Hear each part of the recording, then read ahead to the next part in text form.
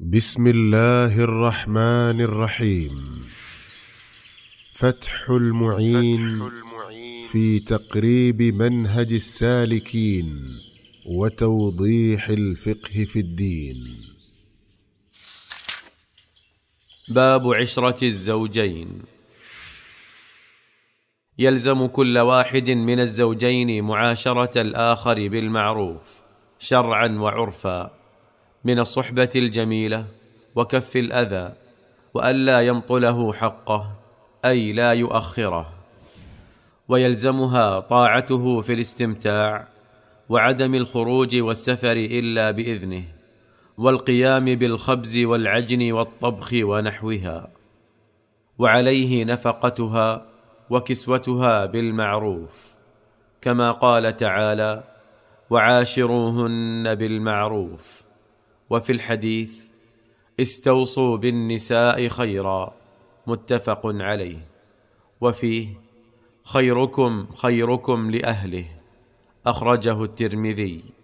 وقال صلى الله عليه وسلم إذا دعا الرجل امرأته إلى فراشه فأبت أن تجيء لعنتها الملائكة حتى تصبح. متفق عليه. وعليه أن يعدل بين زوجاته في القسم والنفقة والكسوة وما يقدر عليه من العدل. وفي الحديث من كان له امرأتان فمال إلى إحداهما جاء يوم القيامة وشقه مائل. متفق عليه. وعن أنس من السنة إذا تزوج الرجل البكر على الثيب أقام عندها سبعا ثم قسم. وإذا تزوج الثيب أقام عندها ثلاثا ثم قسم. متفق عليه. وقالت عائشة كان رسول الله صلى الله عليه وسلم إذا أراد سفرا أقرع بين نسائه فأيتهن خرج سهمها خرج بها. متفق عليه. وإن أسقطت المرأة حقها من القسم أو من النفقة أو الكسوة بإذن الزوج جاز ذلك. وقد وهبت سودة بنت زمعة يومها لعائشة فكان النبي صلى الله عليه وسلم يقسم لعائشة يومها ويوم سودة. متفق عليه. وإن خاف نشوز امرأته أي معصيتها إياه فيما يجب عليها من حقوقه. وظهرت منها قرائن معصيته وعظها فإن أصرت هجرها في المضجع فإن لم ترتدع ضربها ضربا غير مبرح. وفي الحديث ما ضرب رسول الله صلى الله عليه وسلم شيئا بيده قط لا امرأة ولا خادما أخرجه مسلم.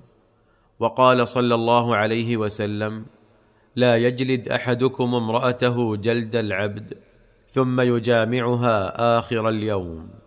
متفق عليه. وإن خيف الشقاق بينهما بعث الحاكم حكما من أهله وحكما من أهلها يعرفان الأمور والجمع والتفريق.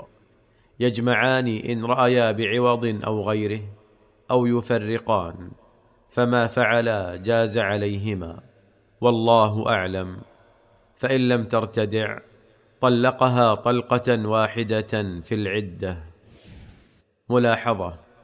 قال تعالى فإن أطعنكم ورجعن إلى الصواب فلا تبغوا عليهن سبيلا أي لا تذكروهن ما مضى وتقولوا فعلت كذا وكذا وأنا قلت كذا وكذا مما يبعث الأمور الماضية.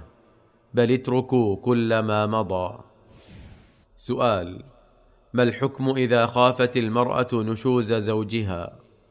الجواب فلا جناح عليهما أن يصلحا بينهما صلحا أي يتصالحا بنفسيهما. الحكمان يفعلان ما يشاءان فلهما أن يجمعا أو يفرقا. وشروطهما الذكورة والقرابة وأن يكونا عالمين بالشرع والحال وأن يريد الإصلاح. فتح المعين في تقريب منهج السالكين وتوضيح الفقه في الدين.